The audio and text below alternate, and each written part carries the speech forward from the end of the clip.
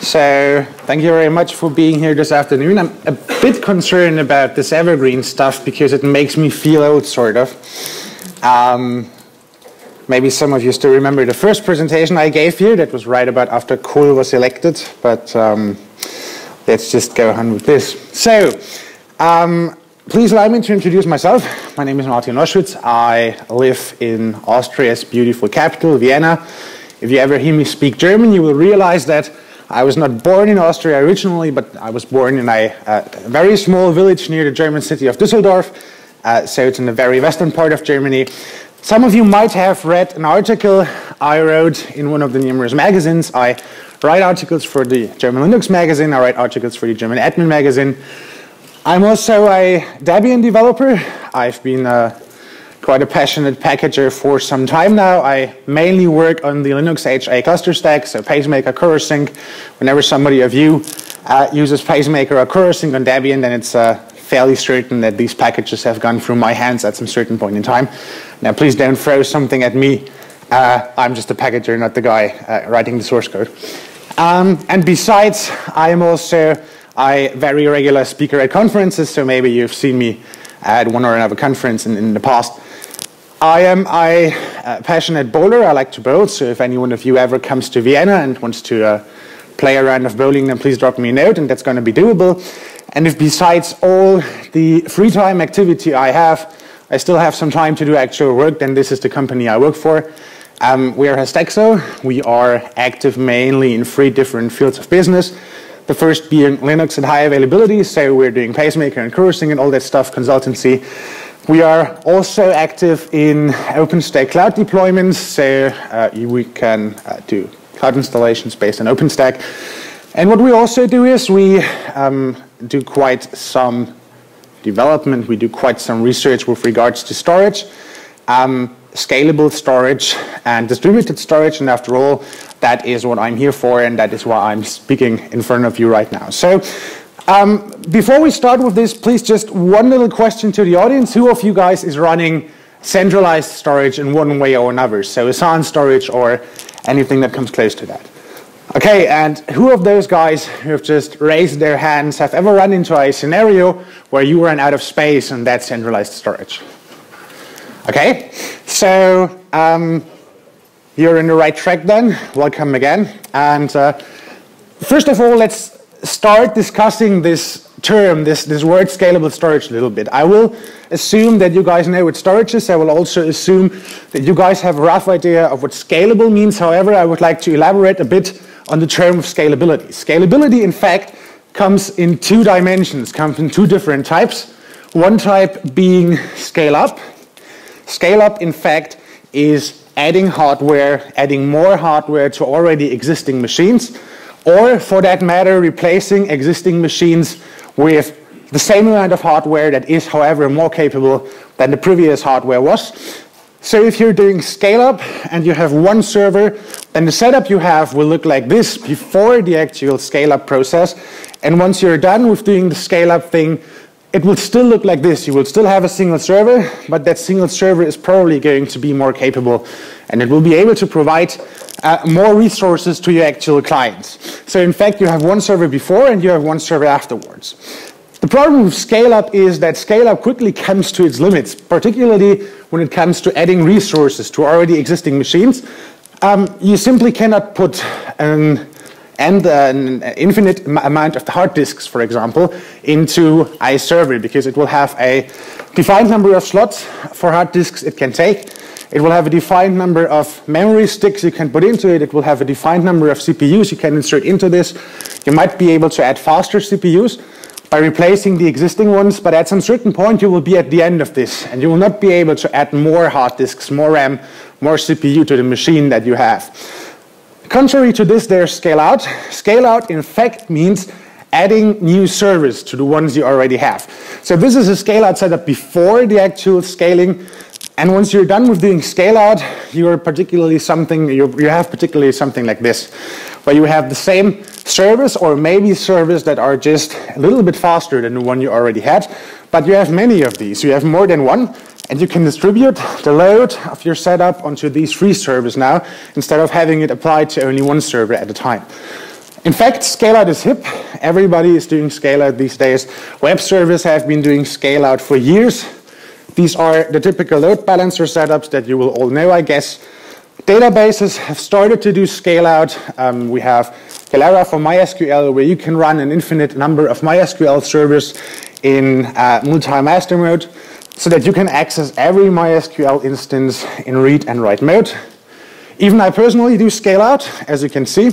However, um, the problem with storage is that at some certain point in time, development with regards to storage has just stopped. We don't have any real scale out for storage, or at least we didn't have storage scale out until some time ago. Now, why is it so difficult to extend storage, to extend the idea behind storage to something that allows for scale out?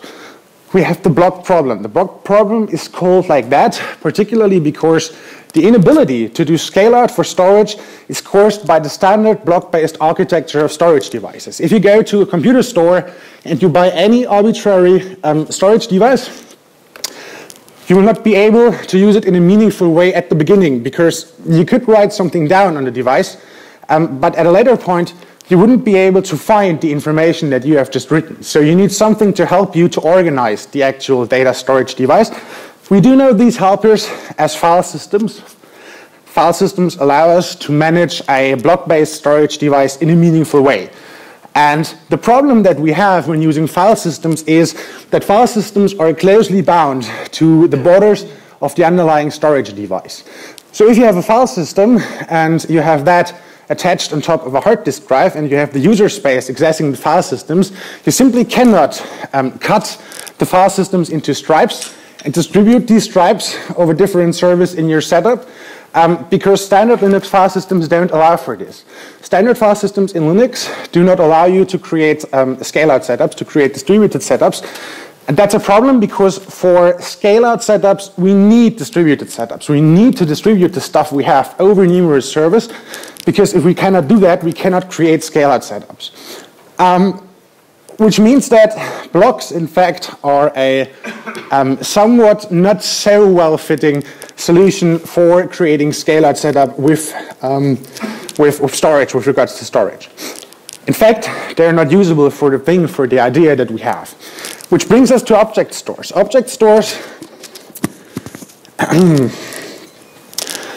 Object stores follow another idea. Object stores will basically cut any information, any piece of data you upload into the object store into small pieces, and these small pieces will then be converted into binary objects. The advantage you have is that object stores organize themselves internally based on this object idea.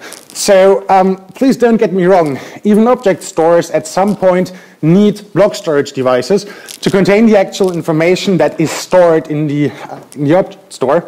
However, um, they organize themselves based on the idea of binary objects. So the um, borders of the underlying file system and the actual blocks on the hard disk drives are not really important to the object store because all the object store needs is the internal object structure that it has. Binary objects can easily be cut apart, and these parts that you then get can simply be distributed over the numerous disks that you have. No matter how many file systems you have, no matter how many servers there are, you can cut binary um, objects into pieces and distribute these over the numerous uh, disks that you have. And that brings another advantage because uh, in fact, the interface that your object store exposes to the user land doesn't really matter anymore. It's not of interest whether this is an actual file system driver, whether it's a block device, uh, whether it's something that allows direct access to the blocks, um, to the objects in this case. You can just use an arbitrary number of interfaces there. And this brings us straight into Ceph, because Ceph, in fact, is a solution that makes use of this advantage very well. Ceph originally was a PhD thesis it was written by Sage Weil uh, for the University of Santa Cruz in California, together with some of his colleagues. And um, interestingly enough, the idea of Ceph is not as new as it may look like, um, because the project itself has been there for years. Only in the last 12 months, uh, the company that is uh, driving the development of Inktank has started to actually market this product. Um, could I get another microphone? This is making me nuts.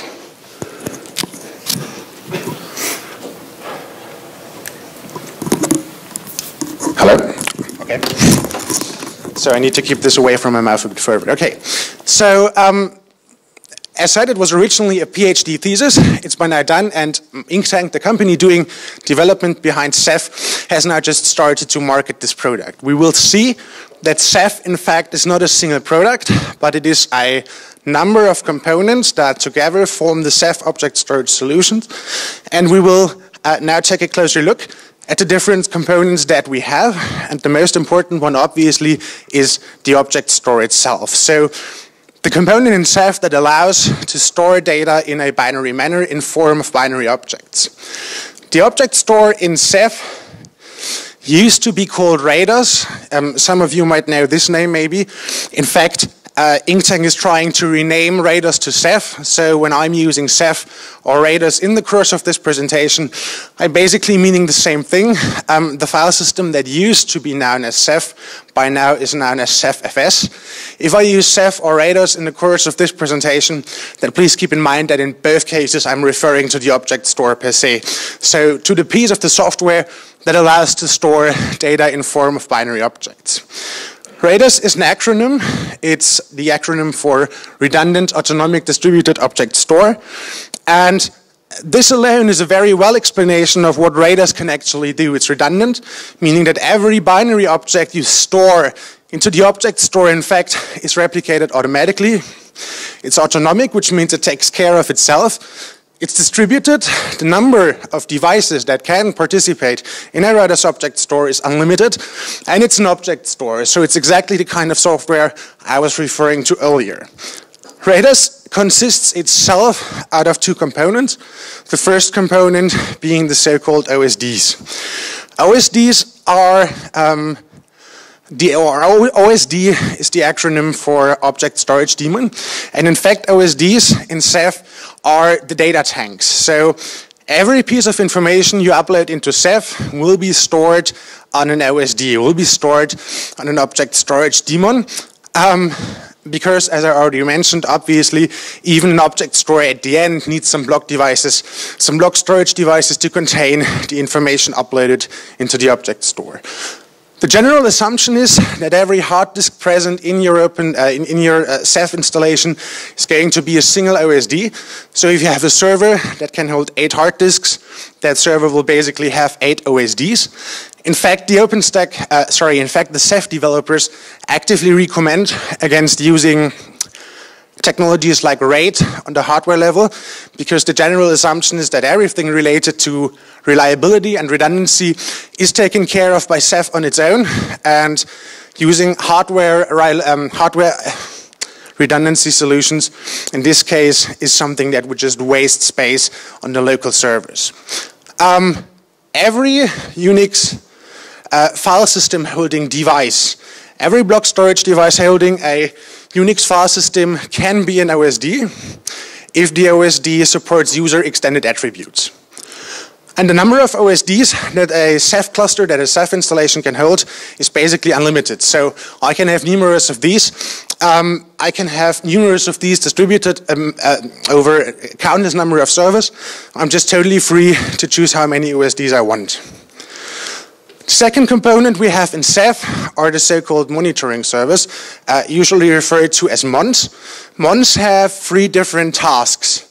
First of all, um, based on the Paxos algorithm, they take care of the cluster quorum, and by that, avoid split brain scenarios. So if a monitoring server in Ceph cannot see enough other monitoring servers to know that it's in the cluster partition that has the majority, it will see service, and it will make that partition of the cluster not allow write and read attempts any longer until the required amount of monitoring service, which is at least 50% plus one, is functional again. Monitoring servers also keep record of all existing monitoring servers and all existing OSDs and create documents containing exactly this information for the clients to use. So the monitoring servers create a file called monmap and they create a file called osdmap and these two files are handed over to clients if the clients request them. And last but not least, by doing so, monitoring servers are the initial point of contact for clients in Ceph Every client that wants to talk to OSDs needs to talk to a monitoring server first, to get a list of the existing mons and to get a list of the existing OSDs. And only after the client has received these information, it can talk to OSDs directly. So monitoring servers are not proxy servers, but they allow clients to figure out what the state of the cluster is. And as soon as they have, as, as they have received these information, they can talk to OSDs. Let's take a closer look at how data placement in Ceph exactly works. Um, how does a client that wants to store data in Ceph actually do that? What is the process going on there to bring information, to bring data actually stored by the client onto the Ceph object store? We have our OSDs. Obviously, in this example, we only have four OSDs. In real-world clusters, uh, we will obviously have many more of these distributed amongst uh, really a number, a big number of clients. You will need at least um, three monitoring service for a working Ceph installation, and you can have an arbitrary number of OSDs distributed over numerous servers. We have the monitoring service se, so these are responsible for taking care of the actual cluster tracking, figuring out what the status of the cluster is. And last but not least, we have the client trying to upload the file that we have seen earlier already. Now, there is a shadow over the OSDs. I will get to the idea behind this in a minute. As I have explained earlier, the client needs to figure out what the status of the cluster is before it can use it. So the client needs to know which OSDs exist and which monitoring service exists before it can in fact use the cluster. What the administrator will do in this case is whenever the client tries to access our object store in this case, the client will contact one monitoring server first, and this is the only time that the administrator needs to specify an IP address to contact. So the client now has this IP address given by the administrator. The administrator will then, um, sorry, the client will then connect to the monitoring service, or at least to one of them, and receive the information on which OSDs we have and receive the information on which monitoring service we have. As soon as that information is present on the client, the client knows which OSDs are present in this cluster and where it can go, where it can actually upload the information it wants to store. So the client now knows what the cluster looks like, and the next step the client needs to perform is it needs to cut the object, the file it wants to upload into the object store into the binary objects. It needs to create these binary objects from the original file. Standard size for one binary object in Ceph is 4 megabytes. So imagine the file we are trying to upload has 16 megabytes in size. And the client will actually cut this file into four binary objects being, uh, being 4 megabyte large each which by now is in fact already the process of cutting the binaries or the cutting, cutting the file into binary objects. The client now knows what the binary objects will be. And the next step the client performs is it assigns the binary objects to groups. So what the client basically will do, it will declare that the first two objects on the left belong to the green group and the second two objects on the right belong to the blue group. These groups in Ceph have a special name and they have a special role. These groups are called placement groups and based on placement groups, the client can determine which OSD it needs to upload the binaries to, the binary objects to. So by actually assigning the binary objects to placement groups, the client at the same time figures out which of these binary objects will make it onto which OSD. Binaries belonging to one placement group will be stored on the same OSD. So now that our client has done the actual cut of the binary object, and the client has assigned them to placement groups, the next step would logically be uploading these objects. The green placement group will go to OSD number one. The blue placement group will go to OSD number three. And now what the client does is it starts to upload the binary objects, which is somewhat nifty because it does that in a parallelized manner. The client will upload as many binary objects to the OSDs as it can. So um, whether the network is the bottleneck here or the actual hard disk performance um, really depends on the local hardware. However, uh, the cool thing in this case really is that this happens in a parallelized manner. So uh, the client is writing to many spindles at a time, it's writing to many hard disks, and by that can generate more performance, can get more performance when writing than it could get if it's writing to one single hard disk only, because it's writing in a parallelized manner to numerous different hard disks present in this cluster. This is of special interest if you are trying to create a setup that is cost effective because um, you won't need fast uh, SAS disks. You can create a setup with Ceph based on standard serial ATA disks. Um, and these, in fact, can be any arbitrary serial ATA disks from any standard computer store. All you need to assure is that these are present in the service. Um, which of course also means that typically you can use bigger serial ATA disks. Uh, you can easily use 10 3 terabyte serial ATA disks for a Ceph setup where you would otherwise have to use uh, 300 uh, gigabyte SAS storage devices to gain uh, comparable speeds.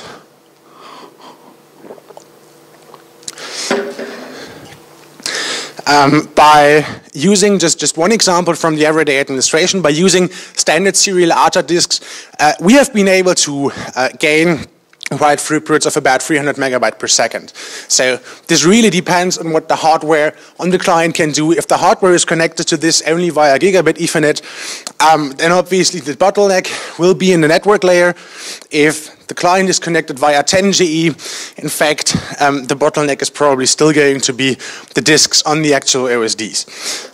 So let's take a look at the situation as it is right now. We have the uh, green placement group assigned to OSD number one. We have the blue placement group assigned to OSD number three. And as I have explained earlier, we have internal redundancy in Ceph, which means that Ceph is going to automatically take care of replication for us. Um, all we need to do is tell Ceph how many replicas of the objects we want. The standard configuration here is two replicas, so every object will exist twice within this cluster. And another nifty piece of information here is that the actual replication happens based on the object storage daemons.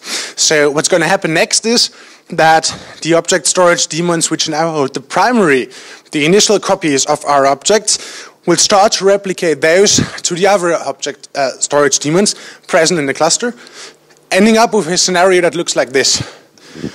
We now have the standard replication policy fulfilled. We have two replicas of every object, and in fact, the write process done by the client is now finished. So this is the step where the client receives the write and containing information, where the client receives the OK for the write attempt, and the client can just carry on with doing whatever is supposed to be done next. What we have not discussed yet is the question of how exactly um, the client determines which OSDs are going to hold a single placement group. Um, which is of interest because, as we have already said, the client only needs to upload the object once. So if there are three replicas required by the replication policy defined by the administrator, the client still needs to upload the binary object only once, and the rest will be dealt with by the OSDs themselves. But how does the client determine exactly which OSD to upload, uh, to upload an object to? I mentioned the fact that this is um, related to placement groups. So by assigning the objects to placement groups, we are in fact already doing the first step. Now, how does Ceph determine which OSD a specific placement group needs to be uploaded to? This is where Crush comes into play. Crush, in fact, is an algorithm. Now, it's certainly debatable whether it's a good idea to call an algorithm that deals with data Crush. Um, but in this case, it really just is another acronym. Uh, Crush is an algorithm written by Sage Weil. So, in fact, it was specifically created for Ceph. It's an invention by the Ceph developers. And the whole assignment between the OSD the placement groups and the actual objects happens based on this algorithm, which is important because it means there is no hash table, um, there is no database where you store information on which object resides on which OSD. In fact, all this happens completely based on the CRUSH algorithm. I mentioned that CRUSH is an acronym. CRUSH stands for Controlled Replication Under Scalable Hashing. And that is just what it does. Um, the developers call it pseudo-random um, because, in fact, the result produced by the client when calculating the target OSD for a binary object is random at once, but it's reproducible. So if you do the Ceph uh, calculation, or if the client does the same calculation for the same object 10 times, it's going to get the same result 10 times. It is, however, not um, the case that there is anything stored statically in this, in this progress. So it doesn't have to store the information which OSD it uploaded an object to in the first place. It's just a case that the algorithm produces the same result again and again whenever the client does this calculation. The cool thing about Crush is that for the administrator, it's possible to modify and to influence the Crush algorithm, which in fact is what you would do if you want to make Ceph-Rec aware. Um, the Crush algorithm allows the administrator to define own requirements for data replacement. So let's say you have three data centers and you want to make sure that Ceph stores one replica of a binary object in every data center that we have. You would modify the crush map, the crush configuration to achieve exactly this goal. Um, let's say you were having a 30 node Ceph cluster uh, distributed across three data centers and you wanted every, every binary object to exist five times in every of your three data centers, then that is also something you could achieve by manipulating the crush map.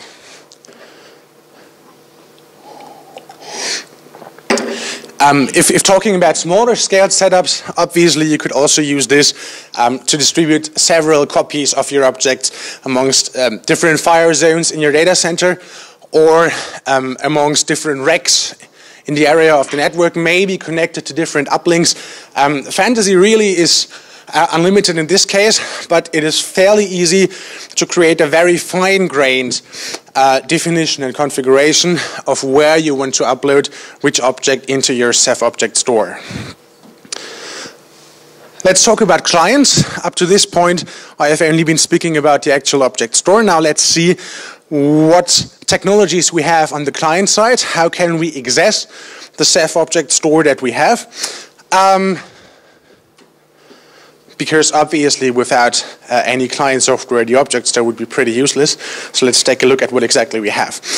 First of all, what we have is we have a block device driver. So we have a driver in the Linux kernel that allows us to access a Ceph object store just like we were accessing a local standard um, block device.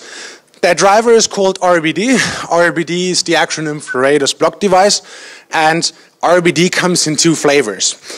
The first flavor is the actual kernel module. So if you have this driver in your kernel, what you can do with RBD is you can just create an RBD device, a virtual RBD device um, that is, by the way, fin provisioned, and uh, create a file system on top of that and enable that Rados block device on any client you are using. Um, you will just have a slash def slash rbd0 then, and you can access that file like you could access any other block device present on the local machine.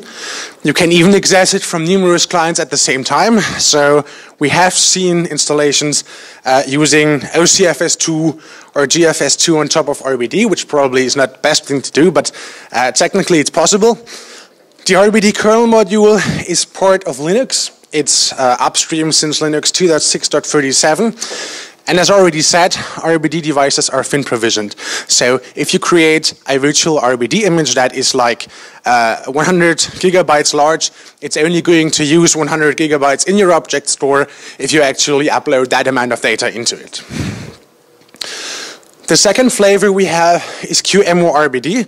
QEMU RBD is a storage driver for QEMU that supports the RBD protocol and which in fact allows you to access any um, RBD-based information, any Rados-based information um, from within QEMU. So what you can do is you can start virtual machines having a um, hard disk, having a block-based storage device that in fact resides in Ceph. Um, you don't need to use the RBD kernel module for that because you have native RBD support in QEMU. And with that native RBD support, um, you can in fact build virtualization clusters where the storage itself and the actual virtual machines are all running on the same hosts.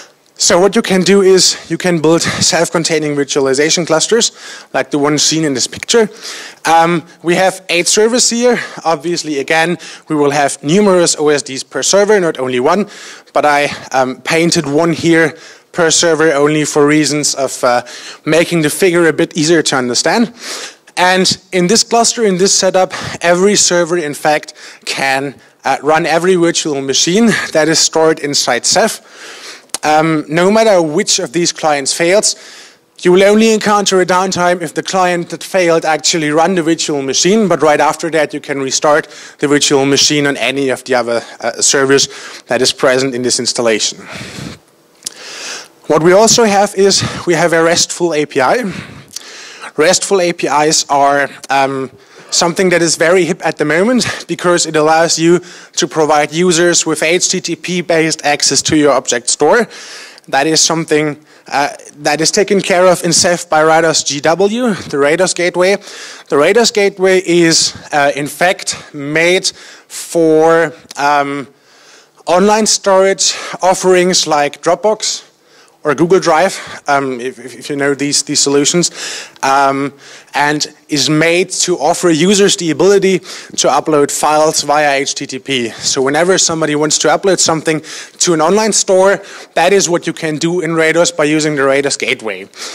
Rados Gateway is FCGI based, um, will typically be deployed in conjunction with Apache, uh, and any FCGI uh, capable web server, however, will do as well. So you don't necessarily need Apache, but Apache and mod FCGI certainly is the standard solution to go. Um, even if it doesn't look like that here in this figure, in fact, the Rados gateway is not a single point of failure. The Rados gateway scales out at ease, just like any other component we have in Rados. So if you uh, don't want to have only one of these Rados gateway service. you can have 10 of these as well, or 20 in combination with a load balancer. You can easily create setups that um, have no single point of failure. The Rados gateway is compatible with Amazon S3 and Swift. So in fact, with the Rados gateway, you can use any other software that speaks the S3 and the Swift protocol um, which means that particularly all clients available for Amazon S3 are going to work together with the Rados Gateway. You can also use um, the Rados Gateway with a Ceph-based storage in the backend as a replacement for OpenStack Swift. So if you have OpenStack Swift and you want to replace that with Rados, then that is possible via the Rados Gateway as well. Which brings us to the last um, really interesting client, and that is something that definitely is the one with the most PR at the moment. CephFS, a POSIX-compatible file system that uses the Ceph object store in the background. In fact, this is what everybody keeps asking for when it comes to using Ceph because it's a wonderful way to work around the requirement for cluster file systems or any of the other solutions that we have out there. Um, using CephFS in Ceph is fairly easy because in fact all you need in addition to object storage daemons and monitoring service is a third service that's called metadata server. Um, the metadata server is the service that is responsible for delivering the actual um, POSIX compatible um, file system information to the clients, uh, which is a concept that some of you might know because that is something that is at least when it comes to the words comparable with Lustre. However, in Lustre, the problem is that the metadata servers in fact contain information. So they store information, and if in Lustre you lose the metadata server, at least the current version has these problems, I think this has been fixed in an upcoming version of Lustre. However, at the moment it still is that way. If you lose the metadata server in Lustre, then you will encounter downtime because you can't have a real replacement for it. In Ceph, the actual metadata information for files stored in CephFS are stored in the user extended attributes of the file system. So if the metadata server, for whatever reason, fails, then you just have a standby metadata server that probably will react a little bit slower at the beginning, but it will heat up its cache, and then you will just have the same fast access to your POSIX file system uh, metadata information you had before um, which really is cool because you can start as many metadata servers as you want, and whenever the one you are running fails, you can just as easy use another one there. Um, I guess it's a good idea to just think of the metadata server in Ceph like a big cache, like a big cache for POSIX compatible file system information. I guess that's the easiest way um, to keep in mind what the metadata servers are. So the only problem we're having with CephFS is it's still beta. It's officially not declared done. There's still some work being happening on Ceph. Contrary, in contrast to all the other um, pieces of software, to all the other components of Ceph I have just mentioned, um, in fact, this part of Ceph, of the Ceph storage stack, still is in beta phase. The file system per se has been part of Linux ever since Linux 2.6.32. Um, it's still marked as experimental, at least in any kernel up to Linux 3.8. In 3.9 it's not going to be flagged as experimental anymore, um, particularly because not it had become stable meanwhile, but because the experimental flag was removed. Um, so please don't be fooled by that one. Um, as said, it's the only service in Ceph at the moment that you cannot get any commercial support for because it's still beta. The other components we have in Ceph are declared done officially and um, you can just use them in a commercial way in your standard setups. If none of the clients I have mentioned up to this point uh, suit your needs, what you can certainly do is you can write your own client if you want to. There's a C library available for this. It's called librados. And librados allows immediate access um, to the Rados object store based on the programming level. Librados, for example, is the part of the setup that the QEMU um, RBD driver uses in the backend to use access or to get access to the Rados object store. Um, by the way, Librados also comes with bindings for numerous um, scripting languages. Uh, we have uh, we have a language binding for Python. Interestingly enough, we have PHP Rados, which means you can access Rados right from within PHP applications, um, which may sound strange, but it's not so strange if you imagine that you could just have your PHP application upload any information right into Ceph instead of storing it in a file system first. And by that, by using any web interface or by using any web application that can do file storage right via Rados, um, you could simply work around the need for any file system in between there. What are the use cases that we have? What can we do with the storage solutions like Ceph? Well, first of all, obviously, this is a solution made for gigantic storage. Um, if you want to do something like this, you could get a 40 terabyte storage uh, with three replicas, meaning that every object exists three times for around about 21,000 euros. And this is the standard list price of hardware. So if you have a standard hardware um, seller, if you have a standard hardware vendor, and you can get the service for less money, you would probably be able to get this for a amount of money that is substantially smaller. Obviously, a very common field of use for this is virtualization. Um, I have just mentioned virtualization. Thanks to the perfect connection between QEMU and RBD, it's very easy to create um, self-containing virtualization clusters, having storage and virtualization in the same service iSCSI storages are an alternative for Windows servers. So if you have Windows servers that need iSCSI to do their storage stuff, what you can do is you can use RBD and run an iSCSI target on top of RBD, have your Windows clients connect to the iSCSI storage, and that way your clients will connect um, to iSCSI, will connect via iSCSI to your Rados cluster and store their data in Rados. Cloud, really important. You're my witnesses. I have mentioned this word. Um, everybody needs to go into the cloud. Um, so object storage solutions like Ceph obviously are made exactly for this purpose. And we're talking about the cloud. Let's, um, let's, let's throw a quick light on OpenStack uh, because OpenStack is really well integrated with Ceph. We have the core components of OpenStack, Glance, and Cinder um, which needs storage in the backend, and we have native interfaces for Rados in both of them, so we can connect OpenStack Glance and have it store its images right in the Ceph installation. Um, we have Cinder, and we can have Cinder have as a, um, as a block storage service, storing the information it is supposed to store right in Ceph in the backend. And as I have already mentioned, we can also use um, Ceph as a drop-in replacement for OpenStack Swift via the Rados Gateway interface. So if you plan to replace your um, OpenStack Swift installation, then that is possible as well with Ceph. Um, which, in fact, uh, we have done, and we can confirm that this is working in a very well manner. There have been some improvements in OpenStack recently with regards to RBD, um, and this is something that you can really use to create a very store, very reliable and very stable um, storage backend for, for OpenStack that actually will scale out. Um, which brings me to another question I would like to ask. After all the information that I have just bombarded you with, uh, who of you believes that this must be utterly complicated to set up and really hard to do? okay, so we, ha we have a bunch of geniuses in here. That's cool, okay. Um, I would like to demonstrate it anyway, because I still have some five minutes, I guess. Um, let's just do a quick presentation of how you can actually use this. We have uh, free virtual machines running here on my notebook, so this is not going to be super fast, but please bear with me for the moment. Um, we have Alice, Bob, and Charlie. In fact, we have one Ceph configuration file. The Ceph configuration file is usually stored in etc ceph, ceph.conf. We will see, oh come on. I love that. We will see that the configuration file per se is not very complex. We have a CephX paragraph in here enabling authentication between our Ceph nodes. What we can do here for security reasons is we can make our Ceph nodes connect to each other only after they have identified them with a password, um, which uh, allows us to make sure that nobody puts something into this cluster that doesn't belong there.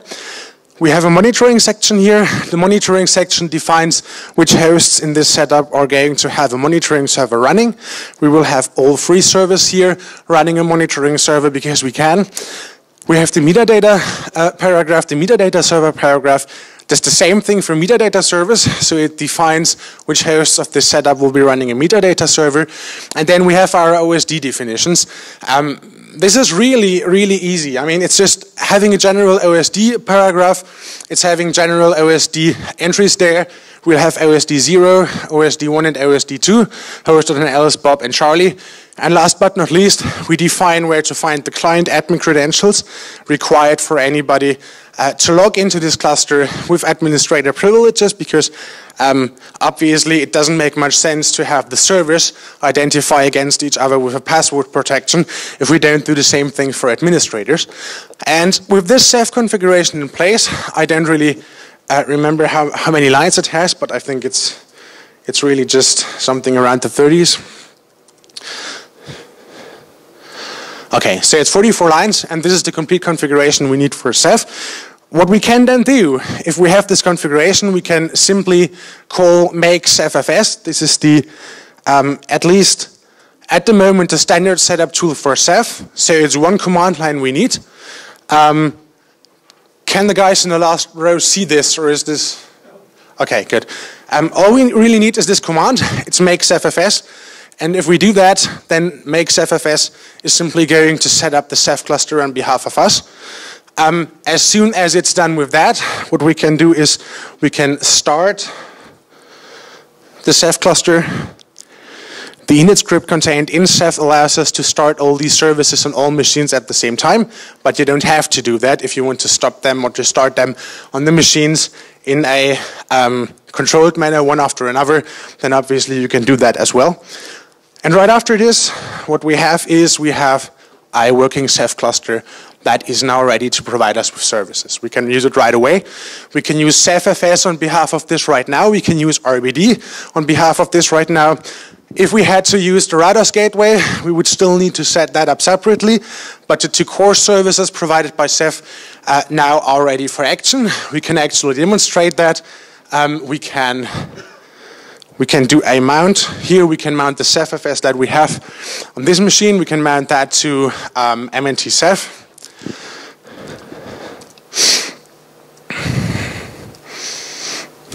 And as you can see, the directory is empty. Now, what we can do is we can do um,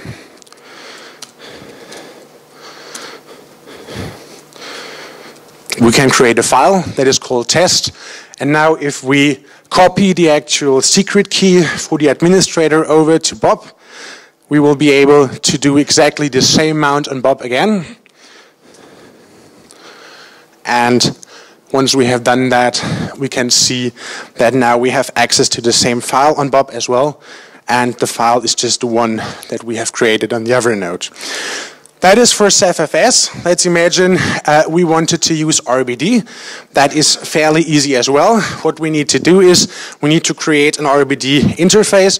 In this case, it's um, just one gigabyte large for demonstrational purposes. So we need to create the RBD interface. The next step we have to do is we have to map it. Mapping, in fact, means enabling the RBD device on the local server. As soon as we have done that, we can see that there is a def RBD, RBD 0. And now what we can do is we can create a file system on that one, and we can mount that on the local server as well. And we could just do that on any other of the nodes we have. It's not necessary to have RBD active on only one node of the cluster. You can activate one RBD device on as many cluster nodes as you would like to.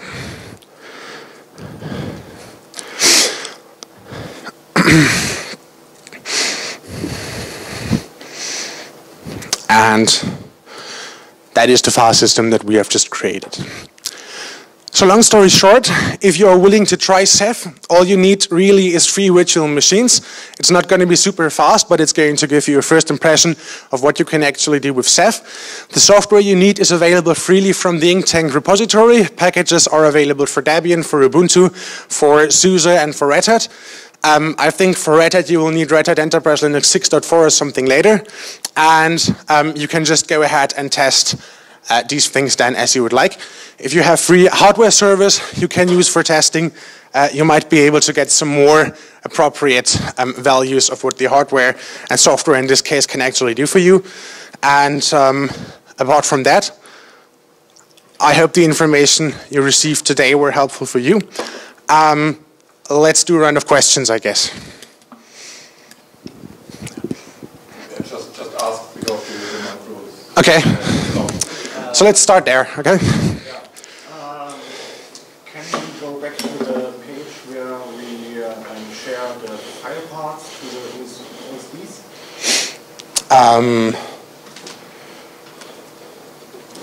This one you mean? Yes. Uh, Just one more. Yes, okay. Um, If I bring my clean bullets to the first OSD, Yeah. uh, say, okay, I have the data. Yeah. Now, my first OSD correct. Yeah. It's no replication because you said you don't need to break. What happened to my clean bullets? Um, well, if the uh, okay, so first of all, what is important to know for to answering that question is um, the write process within Ceph is only going to count as finished if the actual information that need to be written to the OSD have hit the um, OSD journals of as many servers as the replication policy defines. So if you have a write process that is writing to your disks, um, the actual process will only count as finished as soon as the data have hit the journals of free OSDs if you have a replication policy that demands free replicas. If your primary OSD crashes before it has been able to actually create the other um, copies of your data, the client will not receive an OK.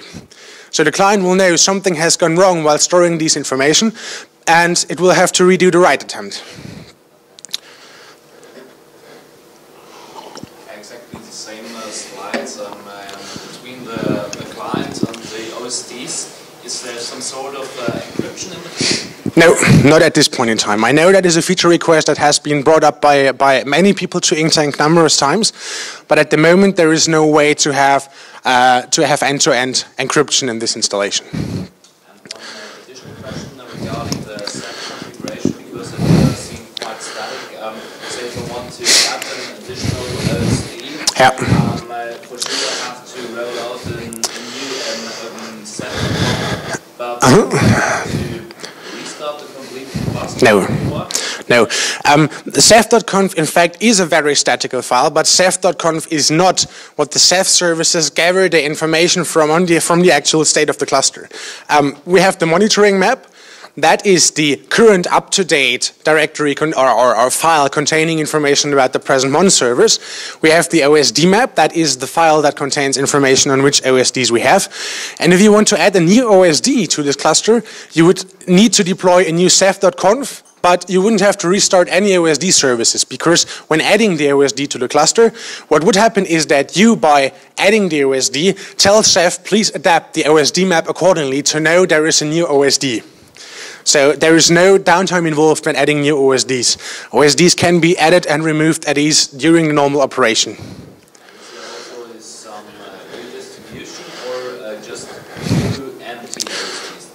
Um, if you add an OSD, there will be no automatical redistribution. What is going to happen is that the new OSD you have will be integrated into the crush map calculation or into the future crush map calculations. But Ceph will not, unlike, for example, OpenStack Swift does, start data shuffling to, in order to be rebalanced again. That is something that is not, for, that, that is not uh, demanded in Ceph, in fact.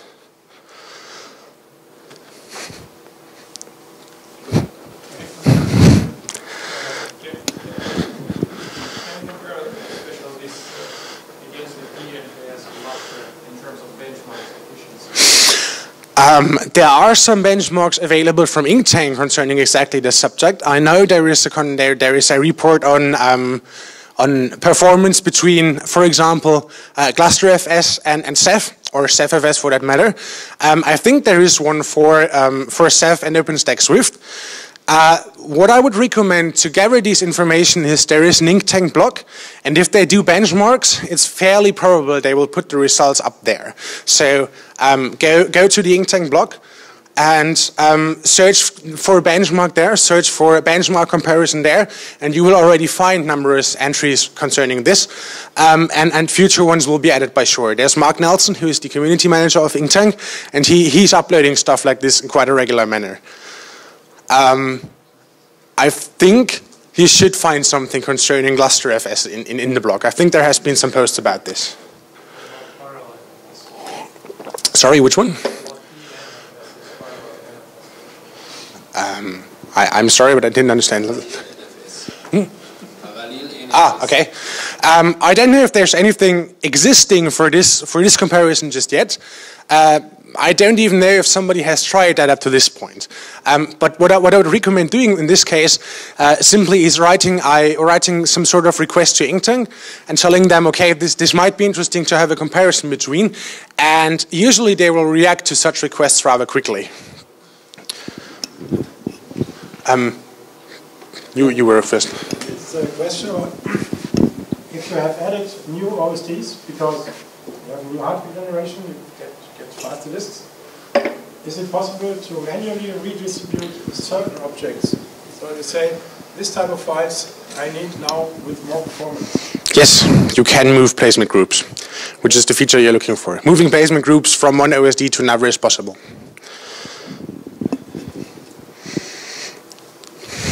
Um, how are objects addressed? Um, so what exactly do you mean?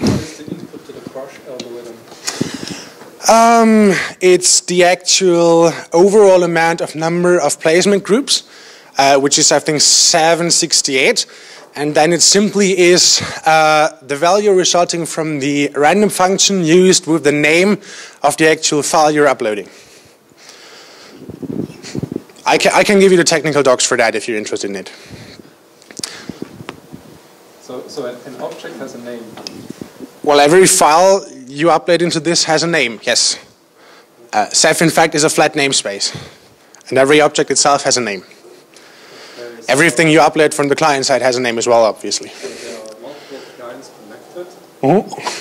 So the CRUSH algorithm makes sure that uh, if you try to create objects with the same name, mm -hmm. that gets mapped to the same OSD.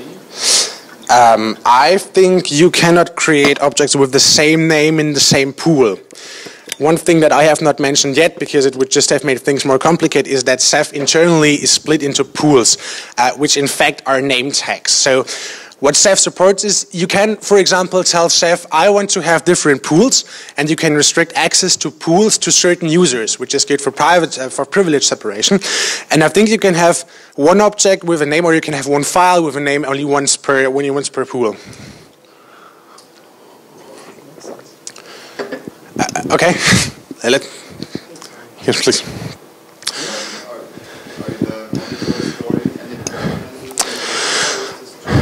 The monitoring service, in fact, store the secret keys they need for CephX.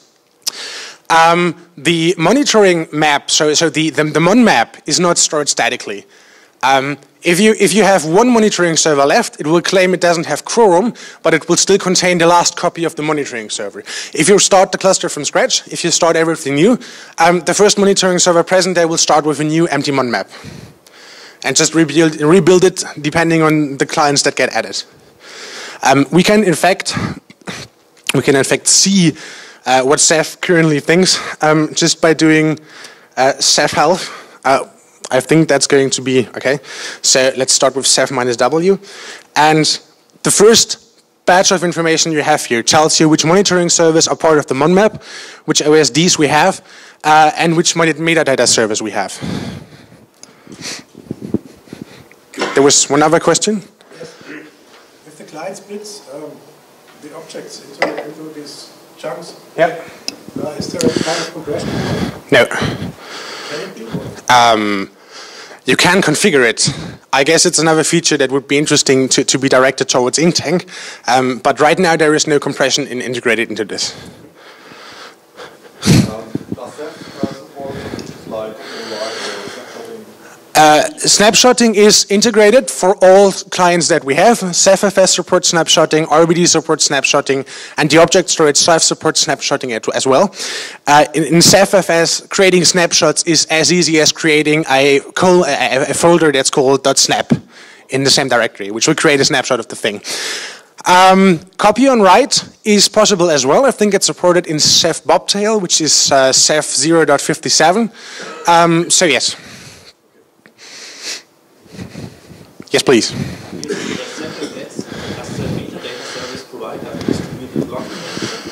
Um, no, in fact it does not, um, because uh, lo locking in Linux file systems is something that is a topic not so awesome, um, particularly because almost no file system present for Linux at this moment supports mandatory locking. What CephFS supports is advisory locking, so anything that uses flock or fnctl is just going to work. Um, however, there is no reliable way to avoid that a client um, overwrites a file that another client has open right now, just like with any other standard Linux file system that's present. So no, CephFS does not support mandatory locking, but it supports advisory locking. Okay, so um, yes, please.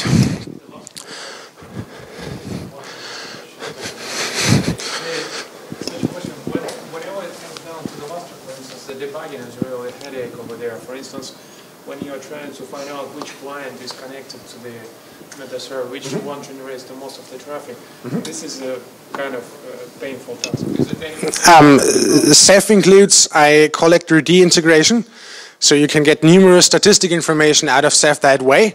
Um, I, I, do know there are plans to, to make that even better. Um, I don't know exactly what concrete information you can get out of, out of this because it's just, uh, it's screen pages full of information. But I'm fairly sure that you can find out which clients are connected to this thing at the moment.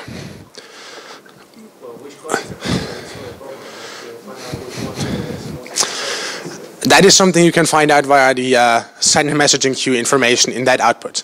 I can, I can give you the commands for that if, if you want to have them. Okay, so if there are any more questions, I think we're slowly running out of time. Um, please find me somewhere during the rest of the conference. I'll be here today and the rest of tomorrow. And uh, apart from that, thank you very much for the attention and have a good day.